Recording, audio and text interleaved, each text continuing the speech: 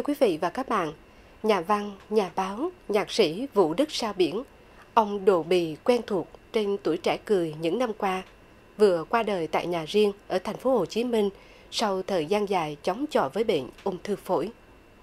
Sinh năm 1948 tại Tam Kỳ, Quảng Nam, tên thật là Võ Hợi, nhạc sĩ Vũ Đức Sao Biển hoạt động trong rất nhiều lĩnh vực, phong trào thanh niên, báo chí, văn, thơ, nhạc tại Sài Gòn và miền Nam trước năm 1975. Vũ Đức Sao Biển có khoảng 36 đầu sách đã xuất bản, sáng tác hơn 60 ca khúc, trong đó có những ca khúc đi vào lòng người như Thu hát cho người, Điệu buồn phương Nam, Đêm gành hào nghe điệu Hoài Lan. Nhớ về một người nhạc sĩ tài hoa của đất Quảng là nhớ một tấm lòng luôn đau đáu với quê hương. Lúc sinh thời, nhạc sĩ Vũ Đức Sao Biển thường tâm niệm rằng đời người ai cũng có những lúc ra đi và những chuyến trở về. Đường về quê nhà Quảng Nam của anh được xem là rất đẹp. Cái đẹp này có lẽ vì người quay về đã gặp đâu đó hình bóng mình của những ngày ấu thơ và hoa niên đầy dấu ấn kỷ niệm. Và hơn bao giờ hết, trên con đường quay về cố xứ, người nhạc sĩ đã cảm nhận được sự đổi thay từng ngày của quê hương mình. Để rồi bất chợt những giai điệu được cất lên giữa khoảng trời yêu dấu. Đó là 10 ca khúc trong album Hoài niệm Trường Giang, viết riêng về Tam Kỳ vào đầu những năm 2000, nơi dẫu không phải là quê hương cha mẹ, nhưng lại cho anh rất nhiều kỷ niệm đẹp thuở thiếu thời. Có lần nhạc sĩ tâm sự, tôi không nghĩ đến cuối đời mình lại có những ngày sống rất đẹp, được đóng góp một chút công sức trong những hoạt động văn hóa nghệ thuật của Quảng Nam. Tôi cứ đi và về với đất Quảng nhiều lần, cảm thấy như là đứa con đi xa về với gia đình, cha mẹ, anh em để thực hiện nghĩa vụ với quê hương. Tam Thăng, Tam Kỳ là cái nơi tôi lớn lên, là cái nơi tôi chập chững đi những bước đầu đời, là cái tôi, là cái nơi mà tôi đã biết đến cái bóng hoa sim ở trên đồi. Nó cũng để lại trong tôi những cảm xúc rất tuyệt vời. Khi nói tới tâm thăng tâm kỳ cái tâm hồn của tôi gần như ở trên những đồi cát đó trên bóng hoa sim đó. Và nơi đó là cái nơi đầu tiên làm nên tâm hồn tôi giúp cho cái thân thể của tôi trưởng thành. Tôi đã ăn những hạt gạo đầu tiên của tam thăng ăn những lát khoai đầu tiên của tam thăng lát sắn đầu tiên của tam thăng cho nên tôi rất yêu quý cái quê nhà đó nghĩa vụ với quê hương như cách anh nói đó là viết hàng chục ca khúc về những miền quê xứ Quảng từ hương rừng Trà My, Tam Kỳ tươi đẹp, phố Giáng Hương, Trăng miền Hạ, tình ca cầu giao thủy, cho đến vinh danh mẹ thu bồn, trên đồi xưa ta hát, chuyện một người Quảng Nam. Điều đáng quý là hầu như những ca khúc của nhạc sĩ Vũ Đức Sao Biển viết về Quảng Nam đều mang âm hưởng dân ca xứ Quảng và được hát lên bởi những giọng ca trưởng thành từ phong trào văn nghệ quần chúng đất Quảng như Quỳnh Anh, Đỗ Quyên, Thu Mây, Thu Hiền, Khắc Vận, Thùy Dương, Khánh Trâm, Minh Tâm.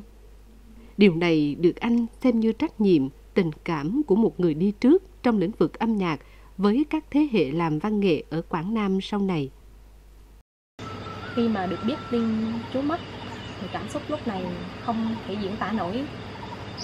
Rất là ngạn ngào. Và em nghĩ rằng là không chỉ riêng bản thân em, mà tất cả những người đã và đang yêu mến chú. Rất là đau buồn và thương tiếc.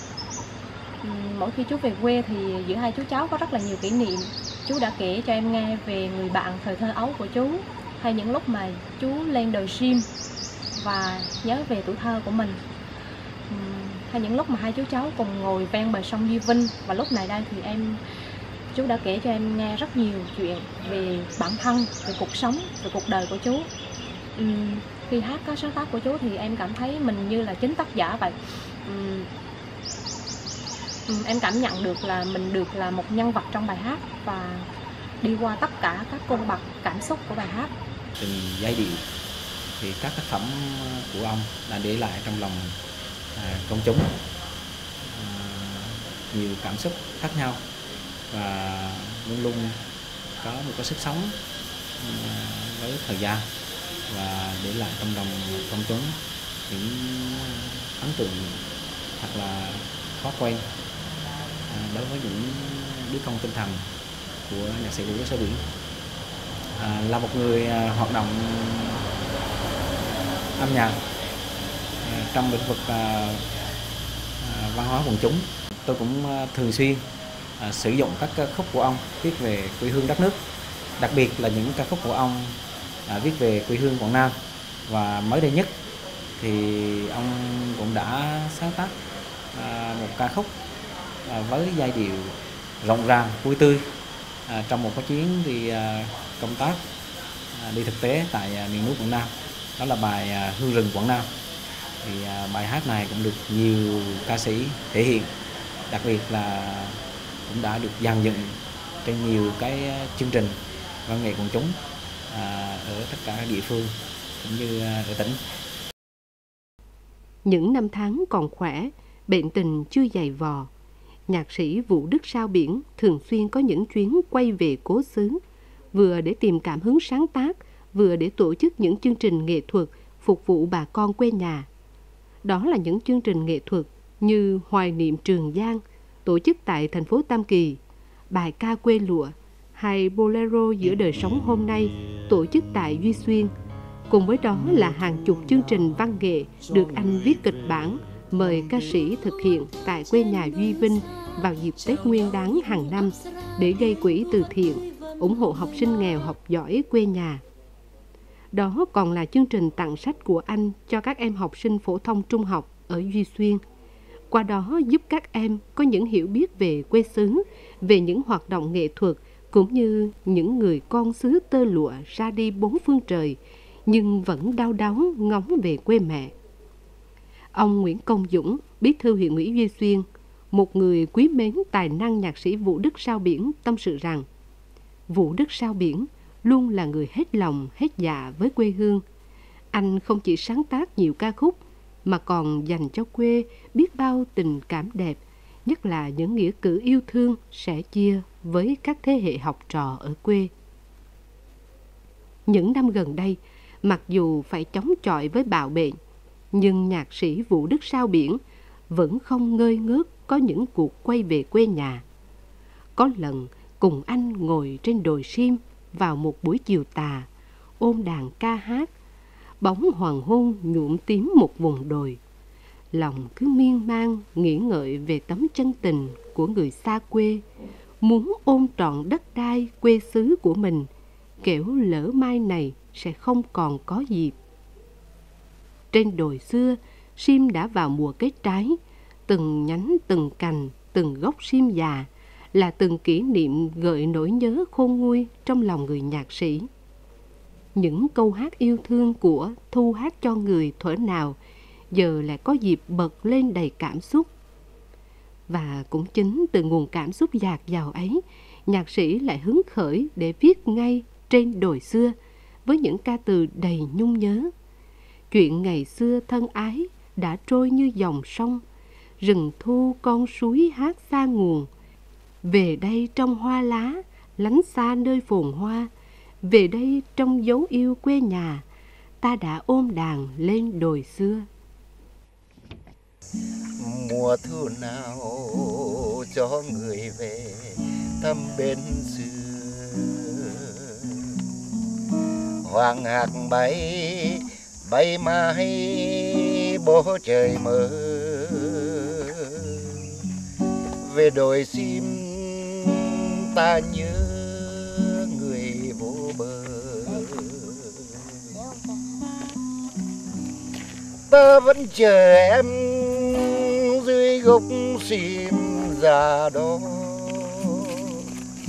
Để hai dâng người, một đóa đâm tương tư. Đêm nguyệt cầm, ta gọi em trong gió sáng linh lan hồn ta không bao giờ bài hát đó tôi viết từ thở đô mươi trên mảnh đất Duy Xuyên này, quê nhà của tôi. Cái hình ảnh trong bài hát là một cái người bạn thời còn đi học, một cái mối ờ, quan hệ rất là trong sáng, rất là ngây thơ. 48 năm sau, tôi không gặp cái người bạn đó nữa. Nhưng mà hình ảnh trong ca khúc thì vẫn còn sống mãi ở trong lòng những người yêu nhạc Việt Nam. Và cho đến tận những ngày cuối cùng của đời mình trên dương thế, nhạc sĩ Vũ Đức Sao Biển vẫn mong muốn ghi lại, nhắc nhớ cho đời sau những đóng góp lớn của người Quảng trên lĩnh vực âm nhạc, nhất là những người tiên phong trong việc đưa dòng nhạc bolero vào Việt Nam như nhạc sĩ Lưu Trọng Nguyễn. Trong lời cảm tạ của gia đình trước những tấm lòng mà bạn bè, văn nghệ sĩ, học trò, người yêu âm nhạc dành cho nhạc sĩ Vũ Đức Sao Biển.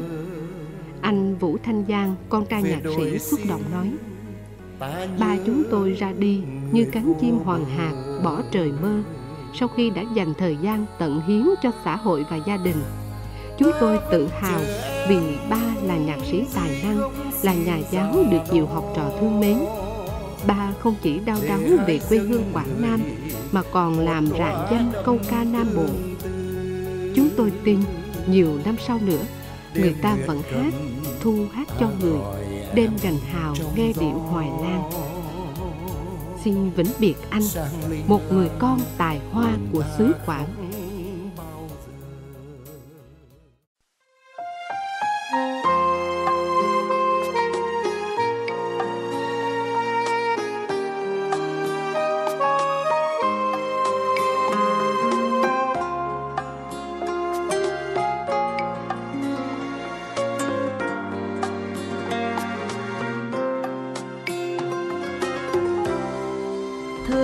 Trẻ trai.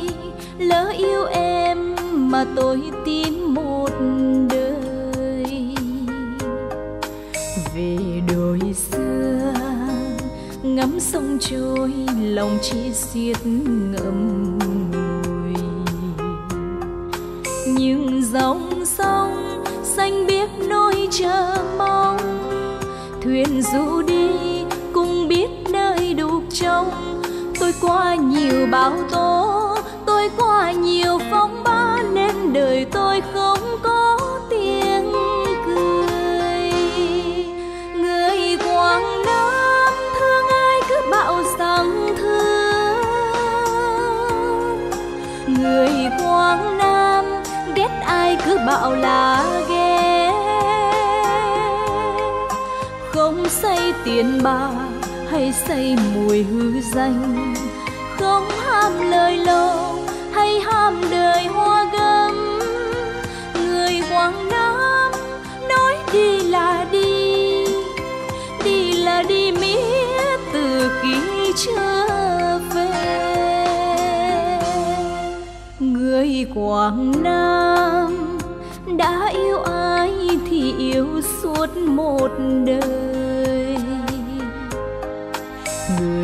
quảng nam lỡ thương ai thì thương chỉ một người dặn trường sơn che khuất mong hình em, mà biển đông sao cứ mãi gọi tên như cây tùng trong gió ta không chịu cong lưng nên đời như sông.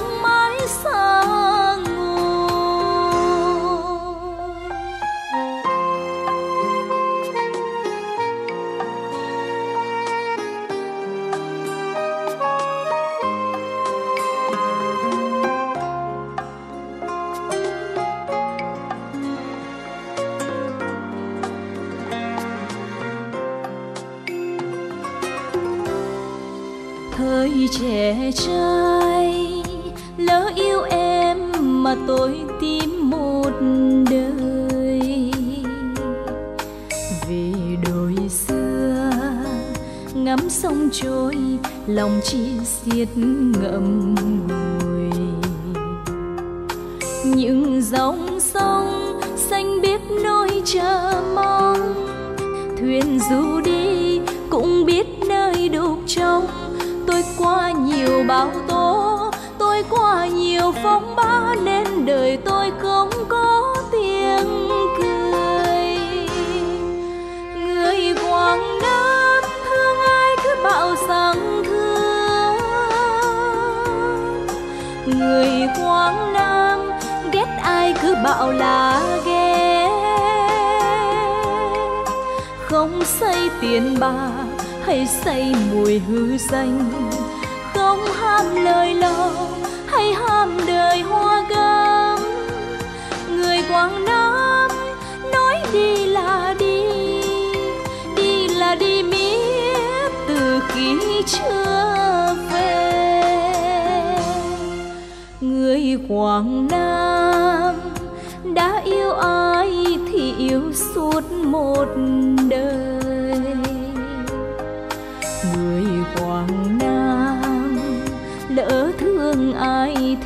thương chỉ một người.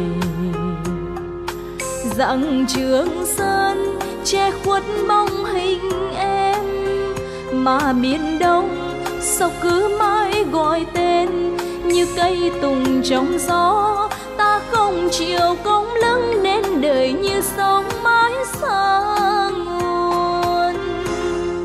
Mà biển đông sao cứ mãi gọi tên như cây tùng trong gió. Ta không chịu cống lưng nên đời như sóng